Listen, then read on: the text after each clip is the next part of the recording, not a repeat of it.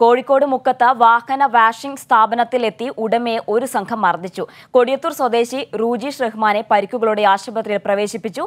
മൂന്ന് ബൈക്കുകളിലെത്തിയ സംഘമാണ് മർദ്ദിച്ചത്. വിശദാംശങ്ങൾ നൽകാനായി കോഴിക്കോട് നിന്നും ലതീഷാണ് ചേരുന്നത്. ലതീഷ് പ്രതികളെപ്പറ്റി പോലീസിന് എന്തെങ്കിലും സൂചന ലഭിച്ചിട്ടുണ്ടോ? എങ്ങനെയാണ് സംഭവം? ജീന ഈ സംഭവത്തിൽ പ്രതികളെ കുറിച്ച് പോലീസിന് സൂചന ലഭിച്ചിട്ടുണ്ട്. സി സി ടി വി ദൃശ്യങ്ങൾ മുക്കം പോലീസ് പരിശോധിച്ചുകൊണ്ടിരിക്കുകയാണ്. ഇതിൽ നിന്നും ഇവരെ ഉടൻ വൈകാതെ തന്നെ പിടികൂടാൻ കഴിയുമെന്നുള്ള ഒരു വിവരമാണ് പോലീസിൽ നിന്ന് നമുക്ക് ലഭിക്കുന്നത്. ഇന്ന് പതിനൊന്ന് മണിക്ക് ശേഷമാണ് കോഴിക്കോട് മുക്കം ടൗണിലുള്ള വാഹന വാഷ സ്ഥാപനത്തിൽ എത്തി ഉടമയെ ഒരു സംഘം ബൈക്കിലെത്തിയ സംഘം മർദ്ദിക്കുന്ന നില ഉണ്ടായത്.